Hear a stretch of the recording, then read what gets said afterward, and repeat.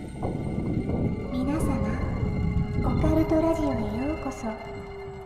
今日はどんな恐怖が聞けるのかしら。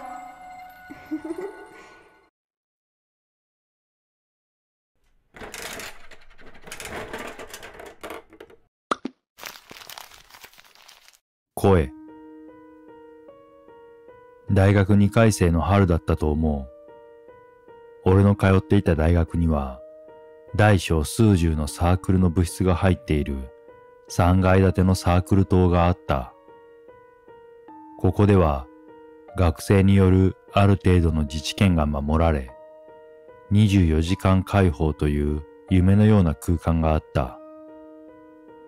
24時間というからには24時間なわけで、朝まで部室で徹夜麻雀をしておいて、そこから講義棟に向かい、授業中たっぷり寝てから部室に戻ってきてまた麻雀などという学生の鏡のような生活もできた。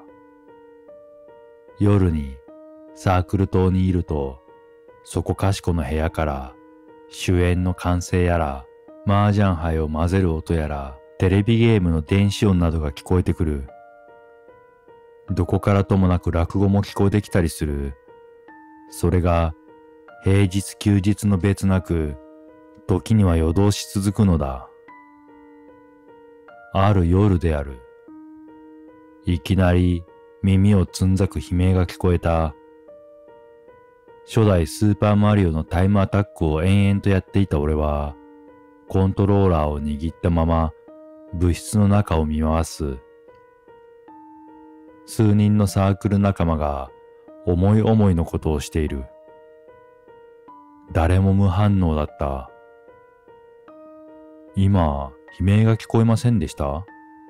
と聞いたが、漫画を読んでいた先輩が顔を上げて、え？と言っただけだった。気のせいかとも思えない。サークルとすべてに響き渡るようなすごい声だったから、その証拠に、まだ心臓のあたりが冷たくなっているような感覚があり、鳥肌がうっすらと立ってさえいる。部室の隅にいた先輩が片目をつぶったのを俺は見逃さなかった。その瞬間に俺は何が起こったのか分かった気がした。その先輩のそばによって、何なんですかさっきの。と囁く。俺のオカルトの師匠だ。この人だけが反応したということは、そういうことなのだろう。聞こえたのか？というのでうなずくと、むしむしと言ってゴロンと寝転がった。気になる。あんな大きな声なのに、ある人には聞こえて、ある人には聞こえないなんて普通ではない。俺は立ち上がり、精神を研ぎ澄まして、悲鳴の聞こえてきた方角を探りながら、部室のドアを開けた。師匠が何か言うかと思ったが、寝転がったまま顔も上げなかった。ドアから出て、汚い廊下を進む。各サークルの当番制で掃除はしているはずなのだが、長年積み重なった塵やら悪タやらゲロやら涙やらでどうしようもなく続けている。夜中の一時を回ろうかという時間なのに、廊下の左右に並ぶ多くの物質のドアからは光が漏れ、規制や笑い声が聞こえる。誰もドアから顔を出して悲鳴の正体を伺うような人はいない。その中を確かに聞こえた悲鳴の残死のようなものを追って歩いた。そしてある階の端に位置する空間へと足を踏み入れた瞬間、背筋に何かが這い上がるような感覚が走った。やたら暗い一角だった。天井の電灯が切れている。元からなのか、それともさっきの悲鳴と関係があるのかはわからない。いずれにしても人気のない廊下が闇の中に伸びていた。背後から差す遠くの明かりと遠くの人のざわめきがその暗さ静けさを際立たせていた。かすかな耳鳴りがして俺はここだという感覚を強くする。この辺りには何のサークルがあったんだろうと考えながら足音を消しながら歩みを進めていると一番奥の部室のドアの前に人が立っているのに気がついた。向こうも気づいたようでこちらを振り返った。薄暗い中を恐る恐る近づくと、それは髪の長い女性で不安げとも何ともつかない様子で立っているのだった。どうしたんですか？と声を殺して聞くと彼女は何か合点したようにうなずいた。多分彼女も反応したのだ。馬鹿騒ぎする不夜城の中でわずかな人にしか聞こえなかった悲鳴に顔色を伺うが暗さのせいで表情まではわからない。俺も聞こえました。仲間であることを確認したくてそう言った。ここだと思いますけど、女性のか細い声がそう答えて、俺は視線の先のドアを見た。プレートがないので何のサークルかはわからない。頭の中でサークルの配置図を思い浮かべるが、この辺りには普段用もないので、もやがかかったように見えてこない。ドアの下の隙間からは明かりも漏れておらず、中は無人のようだったが、ビクビクしながらドアに耳をくっつけてみる。何も聞こえない。地続きになっている遠くの部屋で誰かが飛び跳ねているような振動をかすかに感じるだけだった。頭をドアから離すと無駄と知りつつノブを握った。カチャッと音がしてわずかにドアが動いた。驚いて思わず飛びずさる。開く。鍵がかかっていない。このドアは開く。後ずさる俺に合わせて、女性も壁際まで下がっている。心音が落ち着くまで待ってから、どうします？と小声で言うと、彼女は首を横に振った。怯えているのだろうか。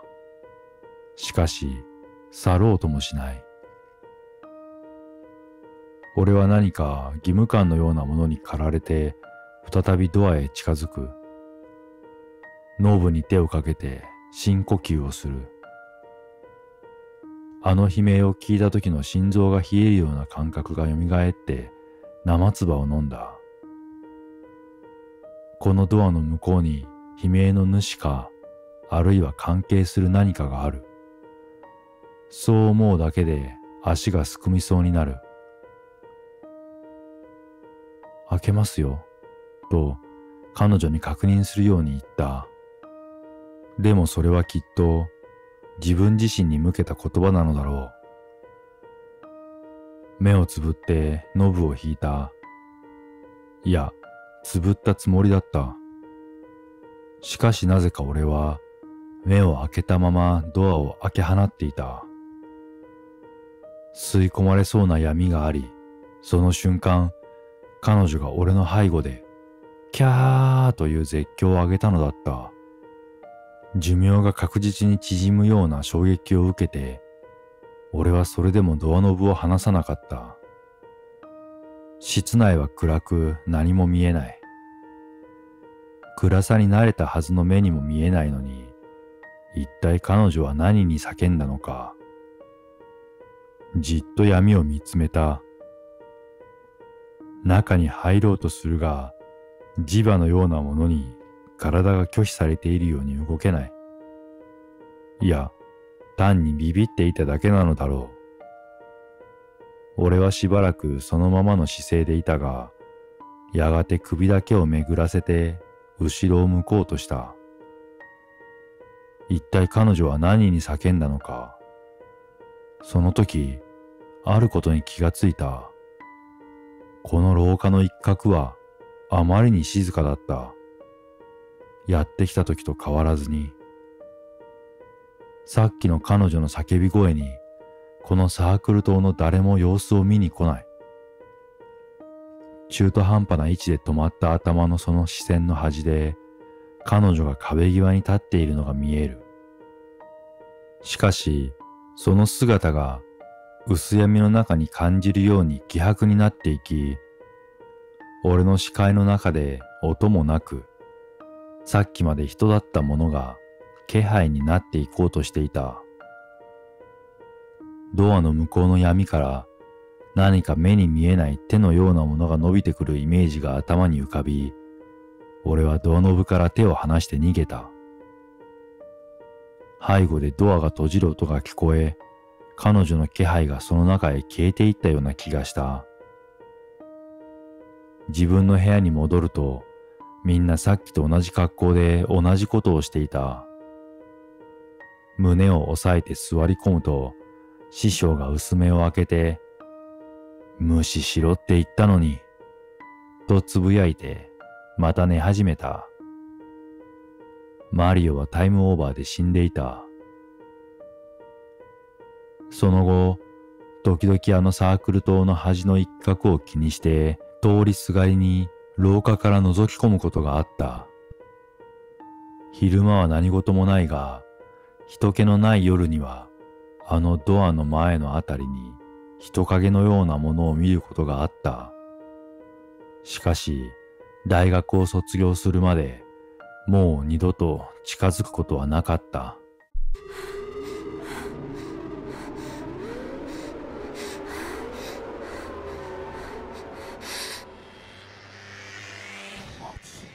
オカルトラジオはい、TSC オカルトラジオともです。木村です。ケイスケです。さあ、今日は師匠シリーズはい。です。はい。ちょっと不定期になりましたね。月曜日っていうのは変わってないんですけど、不定期になりましたんでね。ました。うんうん。はい。お久しぶりでもないか。一週空いたぐらいですね。多分。ぐらいかな。はうん。はい声という。声というお話でしたけど。い。はい声。なんかついに幽霊と喋るみたいな。う。うんそうだね。ん。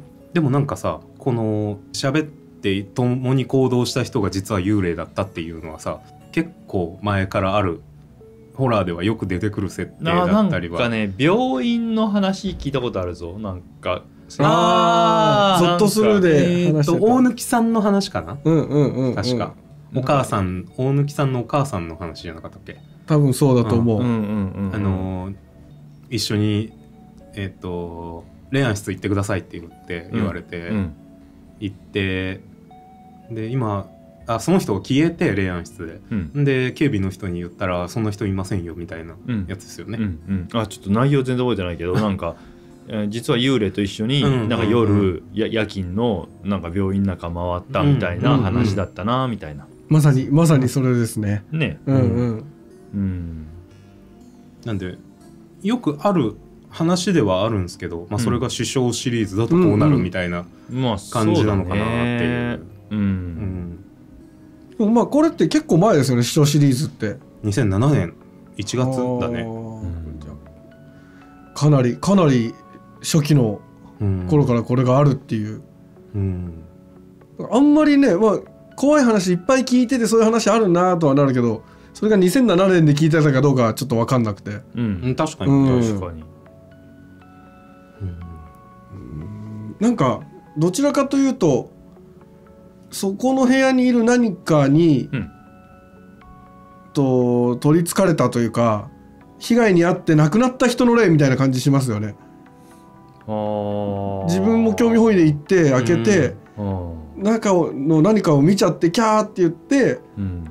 取り込まれて例えば、まあ、行方不明いなくなっちゃったみたいなうん。学生が調べれば実は過去にいてうん。その人の霊を見たみたいなうんイメージにちょっと思っちゃいましたけどなんか。まあでもそんな感じはするっすよね。うん。なんかなんかなんかいたずらかなと思ったその女の人のうん。いたずらなんか来てほしかったみたいなさ。ああなるほど。誰かに。普段なんか薄暗いで電気もちょっと消えたような。うん。何の部屋だったかわからないような用もなきゃいかないような場所にいる霊がまあなんかいたずらで来てほしかったみたいな、でなんかその私だよみたいな叫んだのは私だよみたいな感じで最後キャーって叫んでヒントを置いてったみたいなああまあ感じなんですそかね。こはうーんそそうだね。そこの解釈はちょっとわどう捉えていいかわかんないけど、うん。とかもうな幽霊が幽霊見てびっくりしたみたいな、あー自分もうんちょっと興味あってうん。あの部屋なんだろうって言って言ってたらでやぶ怖えってなったら来てくれたからちょっと見て見てっつって。そうそうそうそう、幽霊じゃないとそれは見えないものみたいな。ああそうか。な、うん。あでも一番初めの悲鳴は何だったのって話じゃないそうだったら、一回見てるんですよそこで。いやーってなって閉じて、うん。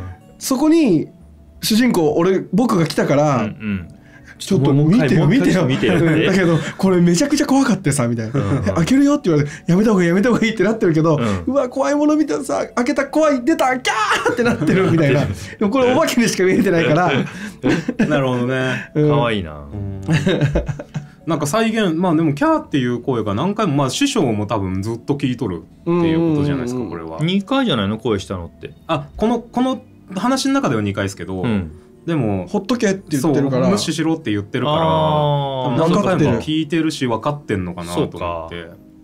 なるほど。だから再現再現してるのかなっていう感じはしましたけどね。その女の人が自分の何回も。うん何かうん。死のきっかけになったことか分かんないですけど、ううん。うん。でなんか中から手も出てくるじゃないですか最後、うんうん出てくるね。うんなんかねで吸い込まれていくみたいな描写だったから、うんそうなんかその描写なのかなって俺はちょっと思いましたけど、うん。なんかそれすらも引き寄せてねね女側のやったことってういうかね、ん。うん。だったら怖いなと思いますけどね。でそのまま興味持って中まで入ってきてよみたいな、ううんんパターンもありえるのかな。構ってほしい感で言ったらなんかそこで消えてく意味がなんかちょっとわからんというかまあそうだせよね。っかく来たから、なんかそこでなんかやるというかでも喋れたから満足みたいなことなのか。なのか。まあ気づいてもらいたかった。本当中入ってないじゃん。自分はね、自分うんうんうん。は主人公は入ってなくてなんか変なえっ、となんか鳥肌立ったもんでやめたみたいななんうんうん。かそういううん。ちょっと危険を感じたみたいな感じだったよね。うーん。もうな何の部屋なのか。明かりはついてない。真っ暗な部屋で。うーん。鍵も開いてるしね、開いてる、うん。昼間とかにも覗くけどそこまでは行かなかったみたいなこと言ってるから、別に何の部屋かは多分調べると思うんですよね。その後、あれ何があるの？みたいな、うん。でもみんなも知らないみたいな。うん。ことなのかなってちょっと思うんで。みんなも知らないなんか開かずの間じゃないですけど、うん。うん。なんか部活棟みたいなのはなかったけど開かずの間っていうか使わない部屋みたいなのは結構あったよね俺らの高あ校は。あありましたね。あでも実際に誰かが使ってるかもしれないけど、うん。普段は使わないみたいな、俺らその新しい部活を作るからっつって一個そういう部屋もらったよ、へえ誰も使ってないみたいな本当に。おありましたね。うん。だからそういう部屋使って予備じゃないけど、うん。ーうん木村さんとこの高校はありました？開かずの間。開かずの間っていう使ってない部屋まあ使ってない部屋みたいな。そういう音楽室とかそういうのじゃなく。うーん。結構広いっちゃ広いじゃないですか古い建物だったから、まあまあ普段行かないところにはそういうところあったと思うけど、うん。まあなんか特にそういう噂があるわけでもなく、うん。あんまりが高校の中で怖い話は聞かなかったな、へー。そういえば、うん。結構歴史ある。戦,、ね。戦後すぐとか、うんうん割と歴史ある高校だったけうんどね、そうですよね、うん俺らの高校はもうあの謎の建物みたいなうん。のがまず謎の建物っていうか建物の目的は分かってるんですけど、うん。中には入れないみたいなのが2つあったんで、う。ん音楽科と,、うん。うん、と女子寮があってなんか何どうなってるのかも全く分からんね。全く分かんない。まあでもそこで音楽家は普通に授業受けてるし,、まあいるし女子寮は別にそこで生活してるしそこで生活してるし。まあそれはそうだよね感じなんですけど、普通科の人らはそこ知らないから、うん。その中には開かずのもあるかもしれないしね。ねあまあそう。う音楽家なんか近づくなぐらいまで言われとったよね。しかも食堂も違うんで、そう。ん。そうもう別の学校みたいな感じだね、う。はい。うん。で途中で新しい食堂ができてからは一緒なんですけど、うんうん。あの子がどこかとかはもう人多すぎて全然わかんないから、わかん。ないですああ服制服も同じ一緒です一緒です。全く分かん。ないあと精神館っていう、うん。うん。道場みたいな畳の部屋があるん。ですけど、はいはいはいはいそこもあん。まり使わん。よね。うん。制服の採寸その入学前に、うん。うん。で開け放たれたぐらい、うん。うん。うん。あとね何回か俺は入ったことあるん。ですけど何で入ったか忘れちゃったね。合宿で一回入ったのは覚えてる合宿お風呂があるのよあそうなんだ。大浴。場みたいなのがあって、それこそ文化祭の前夜祭とかでも使った気がする。なんか。ああそうか、うん。なかなか開かずの間ってあんまり学校にはないイメージですけどうん。俺らの高校とか、うん。まあ木村さんの高校にもねあったもしかしたらあったかかもしれない。うん。うん。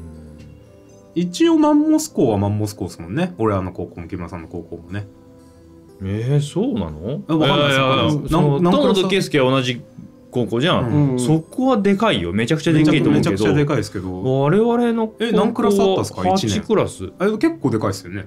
えー、8そうかな。クラスだったら。高校だったらそれぐらいなんじゃないですか？そうだよね。えー、そうなんですか？そんなもんじゃない、うんえ大ー、あ体。どうなんだろう。8クラスでかいイメージですけど。トン、うん。トンとか？は俺らのところはいいろんな科があるんですけど。普通科だけで言ったら10クラスか？商業科が1112組なんであはいはい。それ合わせるとまあ12クラス。で英数科が英数科が4クラス。四5クラスか？四クラス。4クラス。で音楽科が多分1クラスなんですよ。うん。あいやまあ167とかはあるうんのとか、うん、一学すご年いね。あったっすね。45人でだったっけ？そう一組。42二かな俺らの時。42一クラス42すごいな。いやそれが 3×3 ですからね。ねえ。相当多分いたね。めちゃくちゃいるっすよ。でかい、ね、駐輪場めっちゃでかいですからね。あまあでも木村さんたちもねあれですよね。あのー文化祭で来たことありますもんね。あるけどそんななんか何クラスおるとかわかんないし人がいっぱいいるなって感じはするけどさ。めちゃくちゃ多いあそこ。めちゃくちゃ多いと思う。ねなんかそういう怖い話とかありそうだけどね。うん。あ七不思議とかあったっすけどね、うん。うん。でもなんかそんなインパクトのある話はなかったな。まあよくあるみたいなうね、ん。うん。多分圭介は知らん話一個あるよ俺。美術室。まあ美術部だったからさ。うん。美術準備室っていうのが美術室の後ろにあるんですけど、うんそこはまあ先生の待機所と俺ら美術部員の道具置き場うん。みたいなのが仕切られて2部屋あるみたいな1部屋が仕切られてん。2部屋あるって感じなんですけどその先生があのおるところうん。にうん「眠り姫」っていう、うん。ちょっといつの文化祭で作られたか分からんですけど、うん。なんか眠れる森の美女みたいなの眠ってるそのお姫様みたいな格好したドレスのうん。うんとマネキンみたいな多分、ろ人形作ったんですよね多分いつか、それがずっと置いてあって、うん。結構リアルなんですよ、うん。めっちゃ怖かったのは覚えてますね。でそれが、うん。なんか夜な夜な動き出して、うんうん何か喋るみたいな、おー。よくある、うん。よくある七不思議っぽい階段はありましたけどね、ええ、俺らの時なかったなそれ。うん。だから一個怖いのがあったっすよ。なんか俺の友達がうん。一緒に部活入ってで携帯がないとか言って急に言い出してで普段まあそこの先生のところって鍵かかってるんで入れないんですよ。うんで携帯がないんで鳴らしてくれんってまあよくあるじゃないですか、うん。鳴らしてったらその眠り姫のここのとこのお腹の辺におへその辺に？うん。携帯が鳴るんですよ。うん。でそこにあったっす。何それ？で先生ブチ切れっす。お前勝手に入っただろうみたいな。ほで本当にわからんとか言って。う。んなんでここにあるのか本当にわからんって言って結局まあうやむやで終わっちゃったんですけど。誰かがいたずらで隠した可能性もある。し本当に中に入ってくつろいどったかもしれないですソファーとかあるんで。うん。こっそり。こっそり。入って。先生にバレないようにいやマジでわからんで嘘ついてるみたいな、あーなるほど、うん。まあそっちの方が高やりそうな子だったんで、うん。それって職員室の下の階のとこですか？美いやいや術部って。美術部は結構上。あ上なんだ、じゃあ全然知らないな。ね。あの音楽室あって。音楽室逆に行ったことないのよ。あマジですか？俺らは選択音楽じゃなかったからさ。うーん。圭介音楽だった。音楽だったっす。そうなんですよ。もう入学するときにうん。音楽か美術選ぶんですけど、うん。もう3年間やんないんですよ。美術選んだらうん。音楽は、うん。あと音楽も1年の時だけですよねあれの。マジで？はい。1年の時だけですよ。あそうなんだ。は知らんかったそれは。いえ美術3年間やりました？あ3年間あったよ音楽1年だけですよ。カリキュラム。まあプールもないですしねうちの学校ね、うんうんううん。んやらんもんいっぱいあるっすね。うん。うんだから俺高校だけマジで効果覚えてないですもん。あもう歌わない？へ歌わない。え俺はもうだってもう効果すら知らないし、ねうん音楽の授業ないんで。あー一切そのなんか記念式典っていうか、終業式とかほんと歌ったりするじゃん、うんうん。全く歌えないんですよ俺ら。そそう俺らの時その俺らが歌うことなかったっすよ。あそうなんだ、うん。なんかそのえっ、と吹奏楽部とかうん。が吹いてたりとか、音楽家歌ってたかな？だからほぼ聞いたことないですもん。いやでも本当ね 本当ほぼ聞いたことない。学生証に一応歌詞書いてあるけど、それも見たことなかったな。うん知らん人おるもんね。うん。学校の中に。学校の中に。いやいっぱいいますよ。そその生徒えその例えば学年で集められても、うん。普通科だけでも知らん人おるもんねまあそりゃそれだけでかかったらそうだよね。で大人になっていろんなこう人脈が増えて、うん。新しく出会った人が「ああ圭佑くんじゃん」って言われてもマジで誰ってなりますもん、うん。あそれ結局同じ高校の人同じ高校で、うん。えっと、僕文化祭でバンドやったりとかしたせいであと、はい。はいがあの生徒会もちょっとやってたんで、うん。知ってるけど、うん。俺は見たことないんですよだから。はいはいはあーいるよね。でもこの大人になってるから、うん。なんかこう別にフランクじゃないですか。もう人見知りとかもないしうんいうん「お圭佑くんじゃん」って来られるとう、ん。仲いい人だと思うじゃないですかなんか。これ忘れてえクラスメートかなみたいな、あの時のちょっとヒヤヒヤ感が。そのせいでなんか知らん人と喋るの上手くなりましたねなんか。あああなるほど「おお久しぶりっす」みたいな。ー まあこの話は大学なんでもっと多分そのいや間違いない。レベルが本当幅広いっていうか知らない人多いよね。私服だしうん。もう業者なのか生徒なのかもわからんしもうわからんみたいなね。うん。だって大学なんて一般人ガンガン入ってきますからね。ねうん。友達の大学とかも遊び行ったことあるんですけど、まあ、そういう人だってねいっぱいおるしっていう。いやでも大学ではこういうえっとそこで消えたみたいな話はないけど全然知らん人とこういうふうに会って喋ったとか、うん。普通にあり得ることじゃないですか、うんうん。その人が急に消えたみたいなうん。だったらめちゃくちゃ怖いだろうなとは思いますけどね。ね。うん。あそっか木村さんも圭介も大学行ってるもんね。言ってますね。ますね。一応大卒っすね。僕は中退ですけど。あうん2年？3年。3年？はい。3年行って？辞めて美容学校です。うわもったいなあ 何か経済学部。ああそうなんだ。はい。ああだから経済詳しいんだ、いやいやいや全然。めちゃめちゃ詳しかった全然。ビジネス用語とかすごい詳しい。かったそうか、うん。確かに詳しかったですね。うんエビデンスがね。そうそうそう、うん。あの頃はねそういう教え方だったもんね。そうそうそうそうそう。今時代変わったからね。さすが大阪の大学だなと思ってお何のこっちゃ。分かんないと思いますけど皆さんはね。うー。んなんかそのその悲鳴を繰り返しとるのはちょっと切ないなとは思いましたけどね。あーまうん。あそうもしその再現してるんだったらでも師匠はなんとなく分かってる風だったじゃないですか、うん、分かってる風。今まではなんで聞こえなかったんだろうって思いましたちょっと。主人公が。あーそこはやっぱりさその霊感がある師匠とかにこう近づいて影響を受けて。影響を受けてでちょっと開眼したみたいなさ、うそういう感じなんじゃないのかね。そのなんていうか波長があってうん。聞こえるようになったみたいな。なったみたいなさ。うんまあ師匠も前に行ったことがあるかもしれんね。その悲鳴が聞こえてああで行ってみてで自分がこういうそういう、まあ、似たような体験してほんでああまたあれかみたいな、うんうんうん。うん。ほんでなんかあんまりこう興味示さないというかさ、うん。別に行ったところでなんかすごく悪いことがあるわけじゃなくまあちょっと不思議な体験したぐらいだもんでまあまあ行きたかい行きたきゃ行ってくればみたいなそういうノリみたいなさ、うんうんうん。と止めもせず、うん、でなな行っただろうみたいなニュアンスの、うんうんうん。やめとけって言ったのにみたいな。そうそうそうそのなんかそのニュアンスが僕は、うん。ちょっとその中におるものがまずいみたいな、そう、うんうん。ちょっと強い変なやつだから関わるなみたいなことかと思ったんですよ。ああなるほどね、うん。なんかそうやったらなんか言いそうだもんな師匠が。なんか覗いてこいとかさ。うん、えーそうか。えーっとガチでやばい時師匠言わないじゃないですかなんか。うんなんかちょっと言わないよ。焦焦るっていんううん。イメージが常に余裕こいてるけど、うん。えーじゃあ行ってこいよみたいなことも言うし、うん。あ無視無視。これ無視無視ってことはほっとけなんでうん。行かせないようにしてる側ああなるほどね。みたいな。うんうんいやもう言ってこればいいじゃんってなんか余裕ある時は言ってそうな気がすうんるというか、うんうん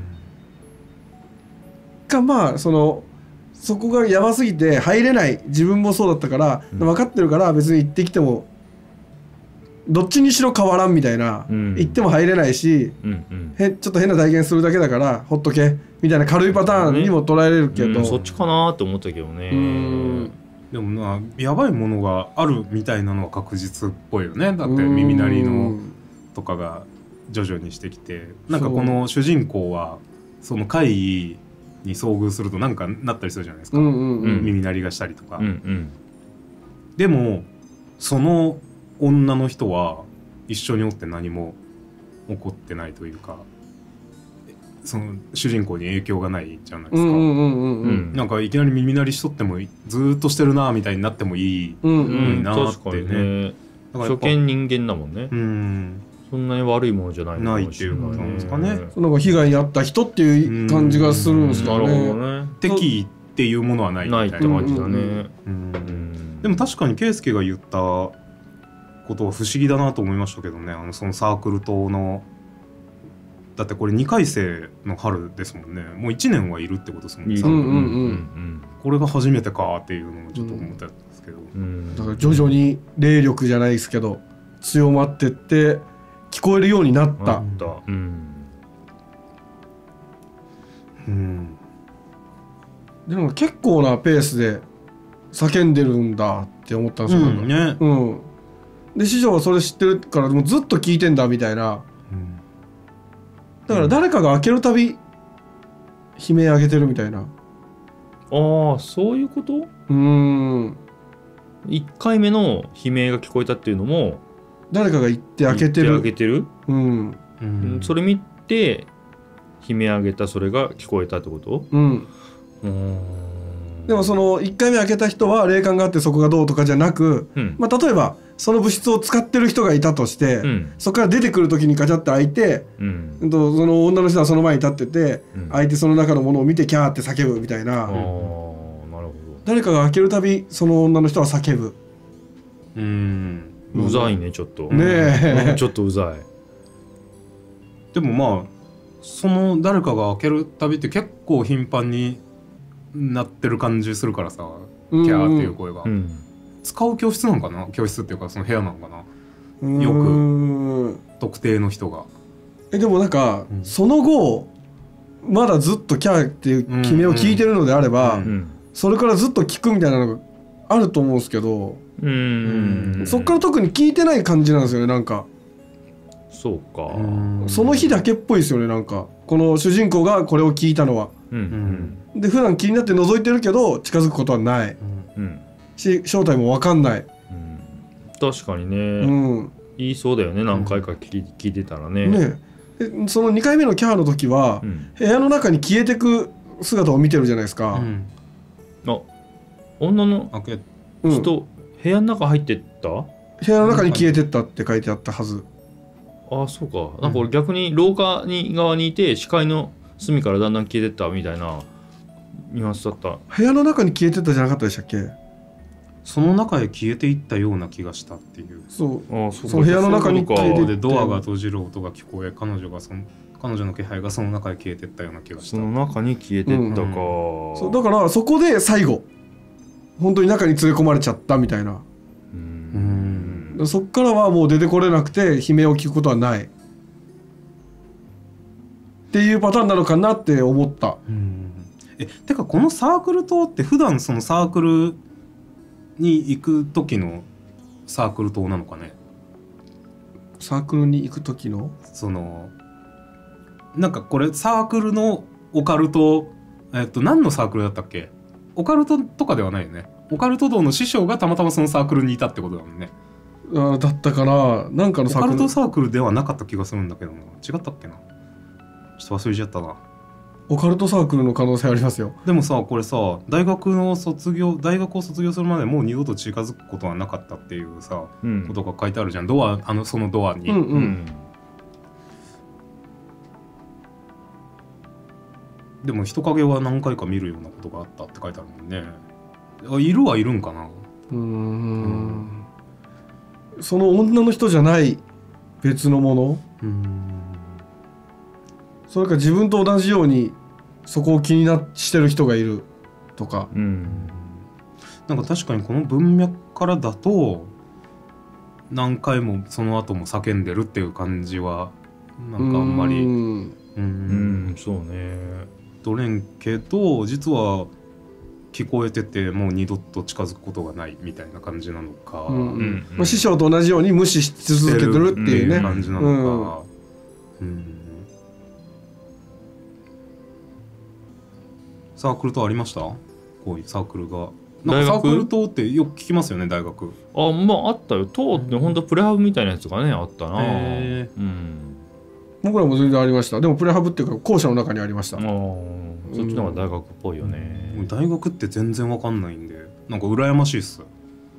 うんなんかでも今思えばうん特になんか面白い教授はおったけどあんまりなんか勉強した覚えあんまなくて、うん。軽音楽部に入っててうん。なんかそこでなんか大学のなんかでバンド組んで、うん。生大学の生徒でバンドを組んでぐらいの感じかな、うんうん学園祭みたいなのあるんですか？なんかそれがあったって感じ、えーそういうのって高校の時とかと違って強制参加じゃないんですよね？あ共通の中じゃない全然、然うん。なんかんイメージこういう感じですもん。その24時間開放されててそのサークル島っていうのは。あーなんか昔の大学って感じだね。なんかね豊橋にもある愛知大学うんうんうんとかは昔はさなんかそういう、もういつでも生徒がいてみたいそうそうなんか呼ばれたことあるっすそんな感じ。で一回 DJ の。うん、ん。あるけど。クラブイベントやりますな。んか問題がいろいろあって、うん。今はそういう感じじゃないもんね、ね僕らの時はもうダメでしたもん24時間じゃなかった、ね。へーはいうん。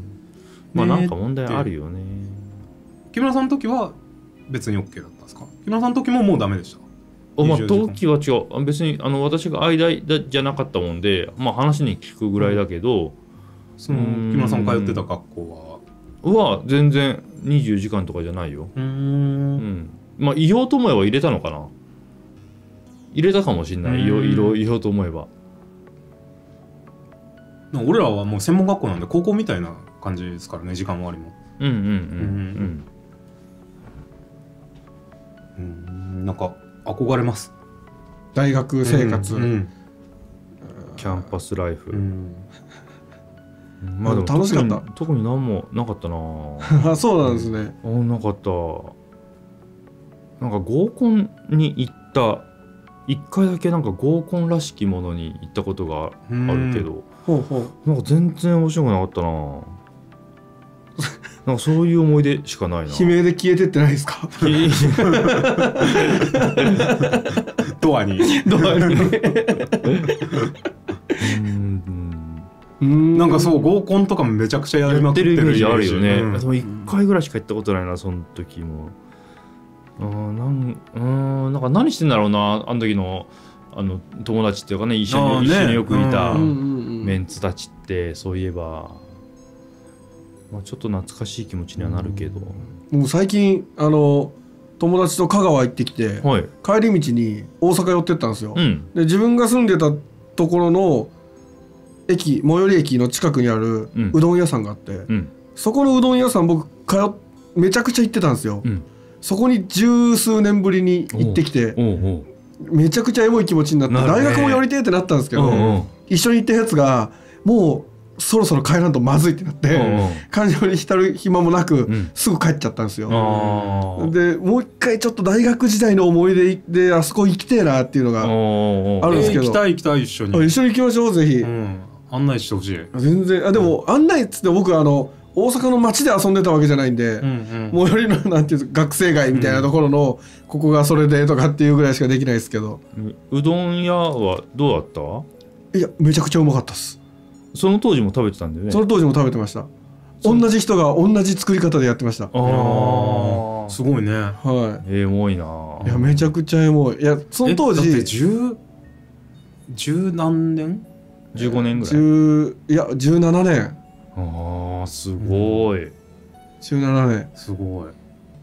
あでも3年間行ってるんでだから14年ぶりか。うん。行ったのは。そう。で当時僕大学高校から出てすぐ行って、ううん。んその母親と一人暮らしの部屋を決めるってなって、うん。決める時にその不動産屋さんにうん「美味しい昼お昼ご飯ありますか?」って言ったらその斜め向かいにあるそこのうどん屋さんを紹介されて、うんうん。行ってうまってなって、うん。その住む場所も決めてからもうほぼほぼもうどうどうすか？月3回ぐらい行くぐらい、うん。もうす気になった空いてたら入るみたいな。で、うん。結構行行列もできてるようなところだったんですけど。当時うどんってなんかそんな食ったことなくて、うん。学校のうどんとかどん兵衛とか、うん。うどん屋さんそば屋さん行ってもそば食う派だったんで。うん。そこでうどん屋さんなんでうどんしかないんですけど、うん。もうなんていうんですか。すり鉢ぐらいの大げさですけど、うん。の入れ物にいっぱいうどん入ってて、うん。天ぷらうどん頼むんですけどいつも,、うんうん右腕1本ぐらいのエビが 2本。まあ大げさだけどね、はい。うん。あって、うん。お玉もなんか手パーぐらいの お玉がドンと入ってるんですよ。おうおうおう。腕一本でもう伊勢海老を入れないから。オマールぐらい。そう。これを僕が高校出てすぐ18歳の頃に食べて、うまでかいやばってなって、うん。みんなに「じゃああそこのうどんめちゃくちゃうまい」とかってうん。言って、地元の子が遊び来た時とかに行ったりするんですけど、うんいっぱいで入れなかったり定休日とかでも地元のやつ連れて行けなくていつも。うん。うんでと大学の友達とかを連れてくとじゃあその時に「いやあそこのうどんやばくてさ器こんなんで、腕みたいなエビが2本入っとってさ」とか言って、うんうん。うん言って「嘘つけ」って言いながら言ったら「本当だ」とか言って みんなで「でかー」って言いながら食うみたいな、それを俺は大阪から豊橋帰ってきてみんなに言ってて、うんうっんてなった時にある日本当何年か前ダイアンがうん。ネタでうんこんな器に腕みたいなエビフライとか言ってなんかうんうん。やってて、ん。あ俺のやつって思ったんですよ。そしたら、うん。その当時の、うん。と俺が豊橋で、えっとみんなに言ってたやつから連絡来て「お前あれダイアンのネタパクっとっただろ」って「いやこれマジで違うんだって」とか言ってだからダイアンさんが17年前からあのネタをやってたかもしれないけど、俺はその時ダイアンのそれを知らないとか言って、うん。でも本当にそこのうどんはこれなんだよとか言って。でもその俺の豊橋の連れはうん。行ったことないから「うん。はいはいパクリパクリ」みたいな こと言ってたやつと一緒に行ったんですよ。おうおうおうおう。そうだから「どうだった?」って言ったらうん「エビフライこれだった」とか言って 右腕出してきて「ほらね」とか言って。へめちゃくちゃでも懐かしくていい気分でした。本当ーに。天ぷらうどんいいなめちゃくちゃ美味しい。もうぜひ今度みんなで大阪行きましょう。ね。ね。うん。行きたいうどん食べたくなっちゃった。ねえいいよね。すいません。ち全然違う話しちゃって。いいんですよ。吸い込まれていくようにね口の中にそうですね。うどんがううどんがね。の？じゃあこれうどんの話か。ではないね。違う。でもまあそこのサークル島で何か起こった過去なんか起こったっていう感じにしか聞こえないっていう、いや本当に。うん。だからなんかこれから続く時にまだ出てきそうな予感はする。なんか。サークル動画？うん。実はあの回回のあれはとか言って。うん。ああそうか、うん。なんかさこんだけさやっぱまあ自分がどんだけ続けるかわからん状態でこのシリーズ多分書いてると思うじゃんね、うんうんうん。この書いてる時は。はい、だからさもう二度と近づかないとかさ、うん、そういうの書いた時に後でその設定覚えとんのかなって思っちゃう俺は。あ確かに。なんかやっぱ書いとくのかな一ある応。程度のあれじゃないの？あの大まかなうん。地図というか、あのー話の流れはさ、う頭の中にあった上で書いてんじゃないの？かね。うん。ん。じゃないそっかそっのかそうんの伏線的なものが。さ、うん。出てきたりするわけでしょ、うん。あの後々。ああれが伏線だったんだみたいなのが出てくる。うん。それこそ前の京介さんの夢の話だってね、まあまあそうだああまあうんそうね。うん、とかさ、そうだからなんかまだありそうだなってなんか思っちゃう、なるほど、うん。まあ確かに出てくるかもしれんね、うん。これウニさん本人は完結って言ってるんですかね？完結なんかもう書かないみたいなことまあなんかねねツイッターかなんかでつぶやいてたじゃないですか。ね。うん。それもう完結っていうことでいいんですか、ね、一応もうそうじゃない、うーん。うん、未完のまま終了とかね。まあありかもしれないですねねどういう話になっていくのかっていうのはありますけどね。最後までは読んでないんで楽しみですね。ねどこまで我々もどこまで追っていできるのか。追っていけるのかっていうね、うんじで、次の話いきますか？34そう。これで終わりですいいんじゃないですかね、じゃあ、うん。今日は今日はねあのーちょっと考察が考察というか 思い出話が。思い出話がちょっと長くなった。うどんの話が長くなったのうん。で、はい、そうそこのうどんもめちゃくちゃ長いんですよ一本が。すすりがいあるんですよ。でエビフライこれですからね。この話 もし自分だったら。ありがとうございました